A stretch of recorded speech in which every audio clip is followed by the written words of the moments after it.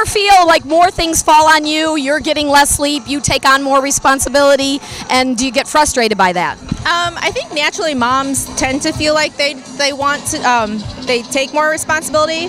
Uh, partly it's because I want to take more responsibility, and um, as a working mom, as a pediatrician, I tend to want to be um, I know in charge of things, I guess.